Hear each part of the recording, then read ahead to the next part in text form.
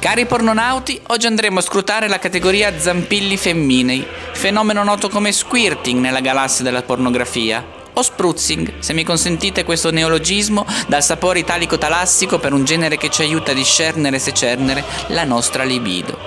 Or dunque lo spruzzing divide la comunità scientifica. Come per il Covid, una parte ne sostiene l'esistenza, con poche prove. Parafrasando Giambattista Vico, noi dimostriamo lo zampillo femmineo perché lo facciamo. Un'altra parte nega l'esistenza o sminuisce gli effetti, paragonandolo ad un semplice pissing di stagione. Tuttavia posso garantirvi che nella distanza di un metro nell'uso della mascherina potranno salvarvi dalla prima ondata. Durante la seconda potete giusto prendere le misure. Ma uscendo celermente dal soggettivo per entrare nell'oggettivo, il dibattito sullo zampillo femminile ha portato la comunità scientifica a individuare il motore annaffiatore nelle ghiandole di schiene, vicino al punto G è un po' come studiare la pentola d'oro ai piedi dell'arcobaleno. Solo un irlandese ubriaco potrebbe crederci.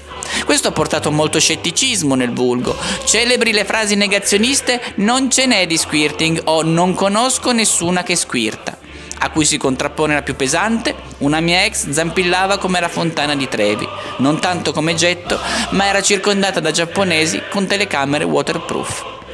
Tuttavia, squirting sì o squirting no è solo un modo che ha la turbobulba per incanalare il pensiero unico su una tematica che assume un pieno carattere politico, la parità di eiaculazione a getto per ambo i sessi.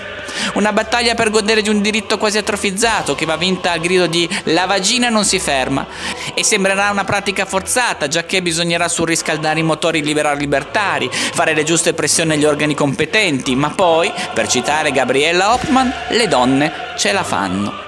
Orbene, aprite tutto, questo è il desiderio del pornonauta che guarda lo zampillo femmineo con stupore e meraviglia, cercando di piegare la realtà al suo desiderio, giacché, per citare Davide Hume, la ragione è e deve solo essere schiava delle passioni.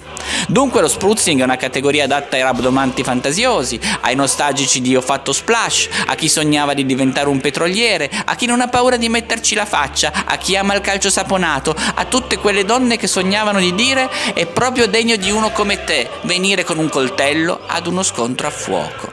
Ecco, lo zampillo femminile rappresenta la quintessenza della felicità umana, che tale solo se condivisa, e ignorarlo equivale a cancellarlo, e tutti quegli spruzzi andranno perduti nel tempo, come lacrime nella pioggia.